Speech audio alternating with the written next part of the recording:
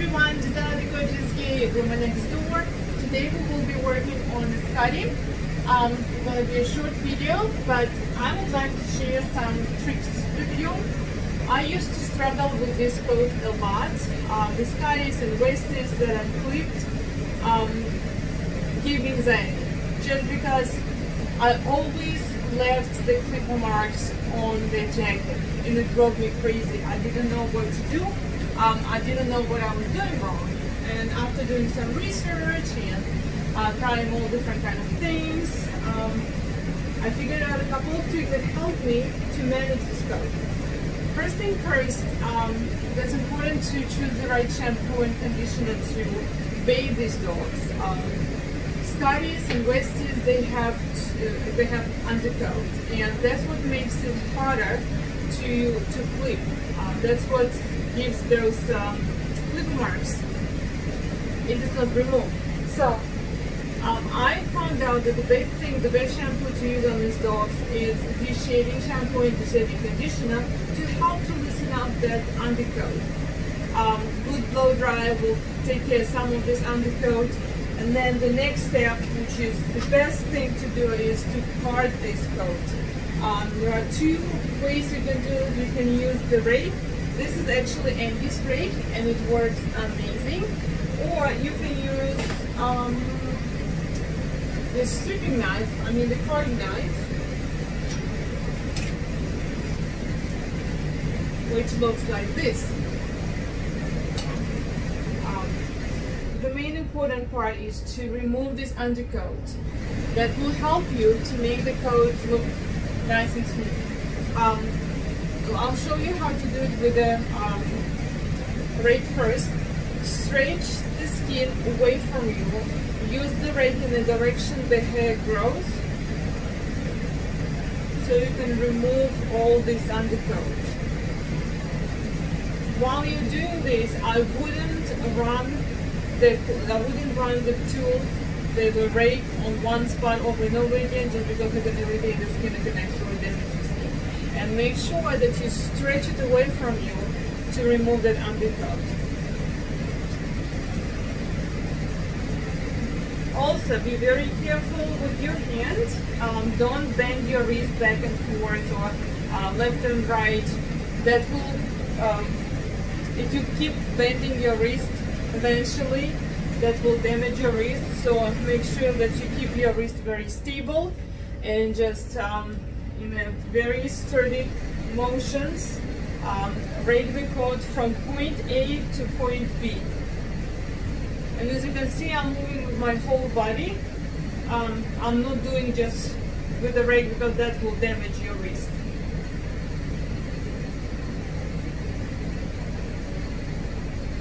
Make sure you run the rake on the whole jacket which will include the shoulders the ribs the thigh muscle top line everywhere that you will run your clipper the other tool that you can use is the only something got in my nose. It's a stripping knife or carding knife. Same, similar technique. Uh, you will need to pull the skin away from you. Hold the, um, the stripping knife, or the carding knife rather, flat, just like that. Don't hold it on the angle. If you hold it on the angle like this, you will damage the skin and you will damage the coat. It has to be nice and flat and move it as um, as smoothly as possible with your hand being stable without bending your wrist again.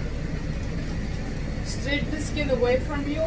Hold your knife flat on on on the body, just like that. I'm trying to show you how to hold it. It should be flat like this, and then pull it in one stroke from point A to point B all the way from, well, I'm starting from the shoulders down to the, um, to the tail.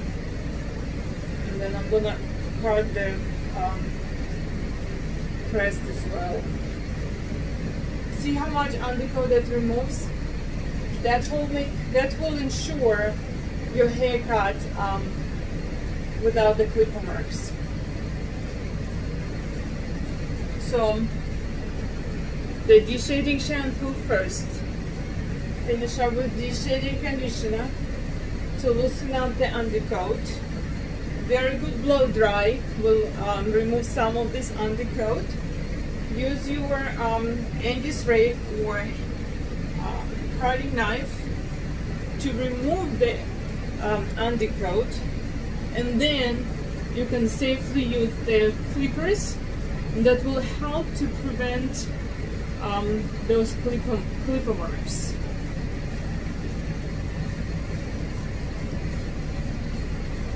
Avoid running the uh, knife on one spot over and over again. Keep moving and also move with the whole body rather than with just with your with your hand. Ready?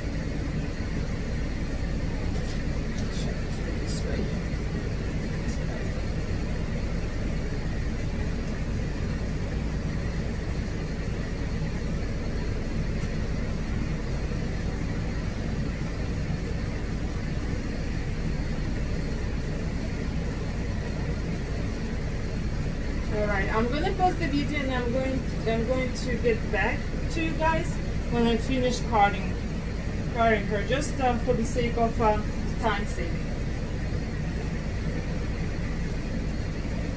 Alright, so I am done with the carding. Look how much undercoat. Crazy. It's like snowy here. Anyway, if you are new to the carding, um, check the skin once in a while. Make sure that you don't leave any scratches or red skin or irritation. Um, if you notice that you do you're probably doing something wrong. Um, so you will have to readjust your uh, motions. Do not put too much pressure. Let the tool do the job and make sure you stretch the skin and uh, don't run it on one spot over and over and over again all right.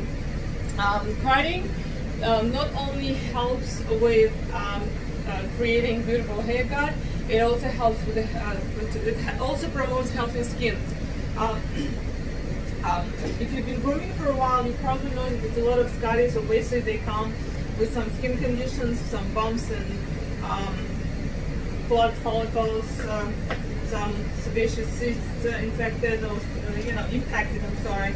So um, that's the, the reason why is because the follicles get, clogged um, because of that undercoat hasn't been removed um, from the follicles. Also, normally when I groom my Scotties or Westies, I do not go as I do not go too short. I do not I use five or seven, uh, very very rarely. Um, to create more of a natural look, I prefer to use a one or two snap-on comb um, sometimes in summertime when people ask me to go shorter, I do with a 2 or 4 snap-on comb. And I also use um, Wahl um, cordless clipper. I just like how light it is and how much of a less vibration it makes and it is more comfortable for me and for the dogs and I feel it's um, easier on my wrist. So this is a snap-on comb and um, it's specifically designed for Wahl. It is number four, which is supposed to leave about one fourth of an inch or six millimeters um, on the body.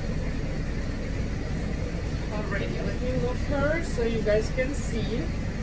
She's a pet, um, and it's summertime, so she's gonna have a short jacket. I'm, I'm, I'm going to do this the same length on, on the whole jacket. Um, she's a pet, and this is for the maintenance reason. We want to keep her short. Um, and prevent from netting and all this stuff and you know. And you know. Okay uh, let me adjust my camera so you guys can see.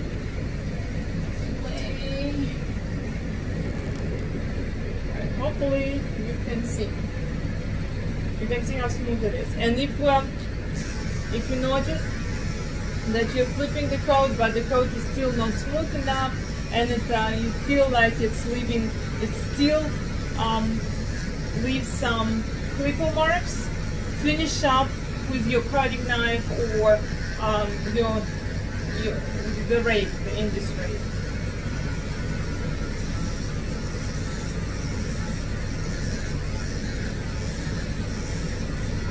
What tools you use important um, during the grooming as well as the finishing product. And I'm just to show you very quickly how smooth this haircut can be. Let me move her to this way a little bit.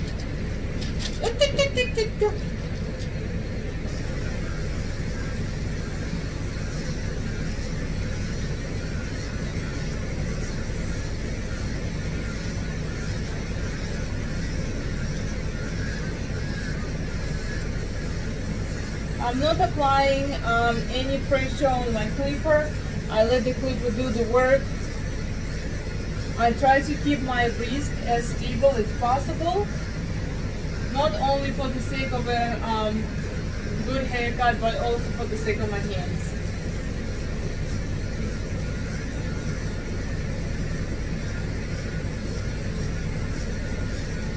keep my hands healthy so they can last for a long time. Okie dokie. So I'm just gonna do one side um, just to show you how smooth this haircut looks.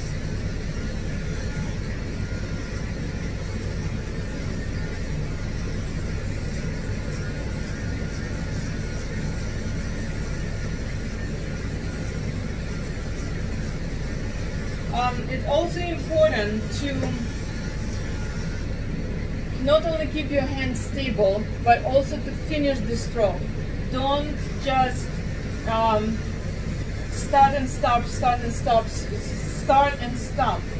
When you do that, you will create the clipper marks. Um, if you go down with, um, if you hold your clipper on the angle, this way, this way, most likely you will leave a, like this. You will leave a, a, a um, clipper mark. If it's flat, with the blade being flat like this, less likely you will leave a clipper mark. Okay? So, nice and flat, finish your stroke. Um, the reason why you want to finish the stroke is because if you keep um, starting and taking off, putting down, taking off, you will automatically create the breaks. Um, just like if you if you draw the line, if you draw the line from point A to point B, uh, it will be a nice smooth straight line. But if you uh, take breaks and pick up your pen and then draw again, you will have some breaks there. Same thing is with your clipper. If you uh, run, pick it up, run, pick it up, you will create those breaks. So nice smooth strokes, move with your body. From point A to point B, no breaks anywhere, no stops. You only stop when you want to finish, um, finish your line. Even like on the body, when I run it on the body, I keep running it down. Uh, I'm not running it down to, to the belly because I want to leave the skirt, but to create, to create the smooth transition from the ribs to the skirt, you will need to continuously running it, um, running it down to the table, perpendicular to the table, not inside, down. As you can see while I'm doing this, I'm already creating that smooth transition. So it's gonna be less finishing work that I will need to do with my thinning shears to um, to create that smooth transition. All right, I'm just gonna do one side. So now I finish my clipper work. You still can see some of the clipper mark, that's normal. Um, I'm going to finish up first with the with the rake and I want to see how it's going to look like. Sometimes rake using just the rake is enough. Um, sometimes you will have to finish up with the um, knife to make it look more smooth.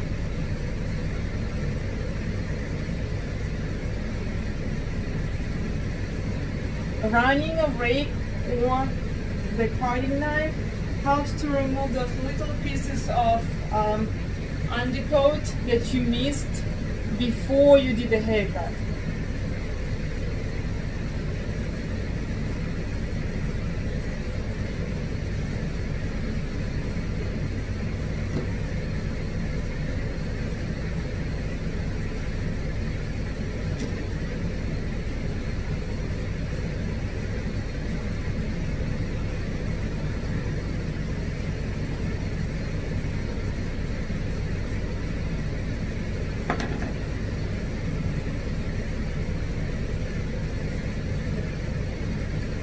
beautiful. And I also like to finishing up with my Utsumi comb. That's pretty old comb, I've had it for a long time. But it's so fine, it smooth, smoothes out all those imperfections, making it look even smoother. I feel like I want to use um, my thinning sheet just in a couple of places to make it look even better.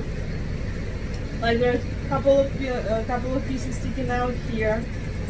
I like to use my thinning shears to smooth it out, especially on the um, transition line between the short area and the longest area. Using your thinning shears is a very good idea.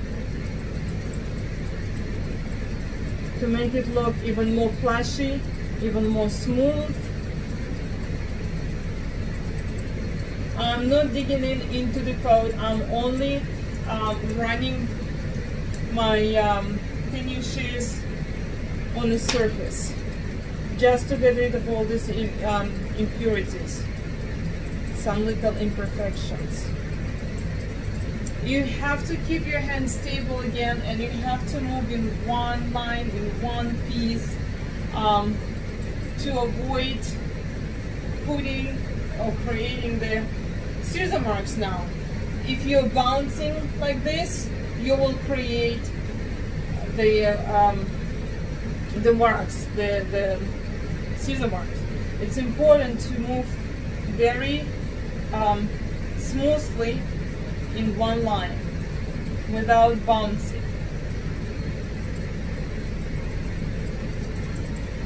And I'm holding my hand like this, this is not ideal. The only reason I'm doing it this way is because um, I want you guys to see. Normally I would go in front of the dog and I will hold my shears um, straight like that with my hand straight with no breaks in my hand anywhere to make sure I don't damage my hand. If you digging into the undercoat, you will create clipper marks. So um, this is the skill that you will need to work on.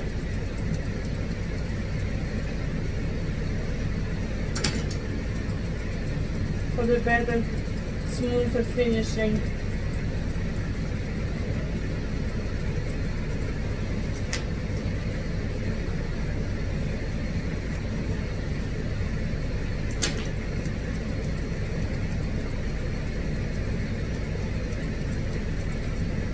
Another technique that you can use to make make the coat a little bit more smoother is by running your um, comb a little bit on the angle at the same time um, thinning shears with the thinning shears.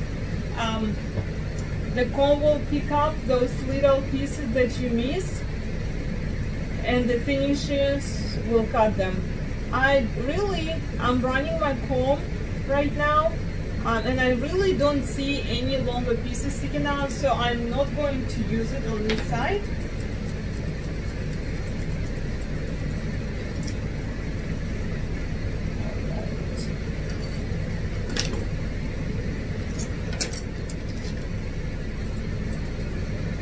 Oh, and these thinning I really do love. I just got them recently. Um, these are Black Panther, I believe Black Panther from Precision Sharp. They're very light um, and I do love the finishing, um, what is it? The finishing, right? Yeah, finishing.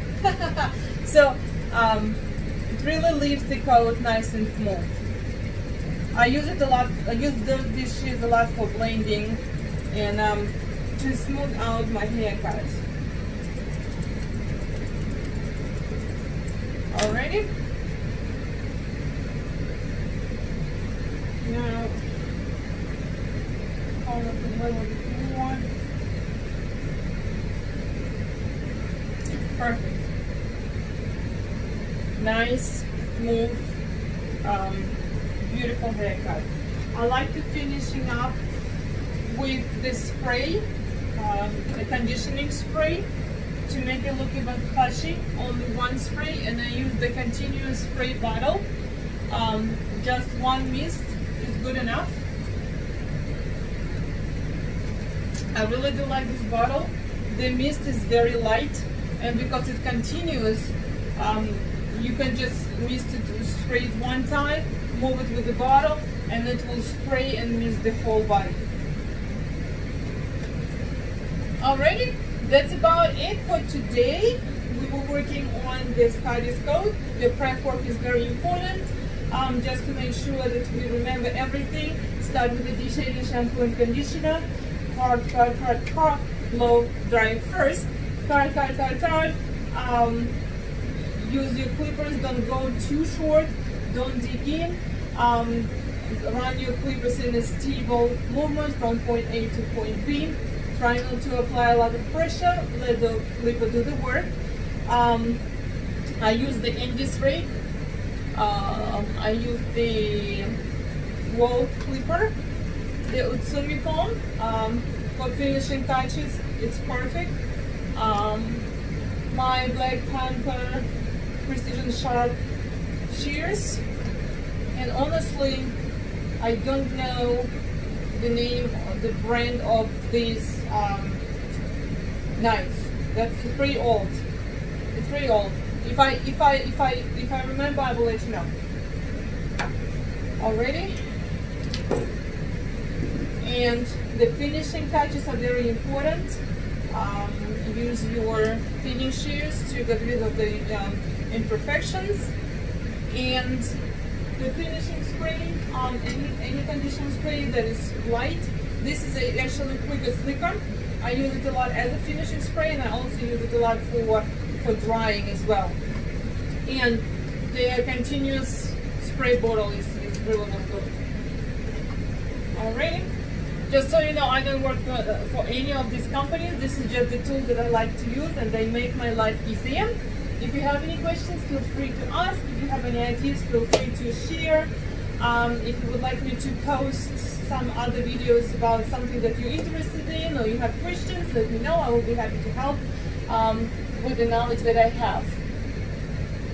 Thank you so much for watching. I'll see you next time. Your groomer next door.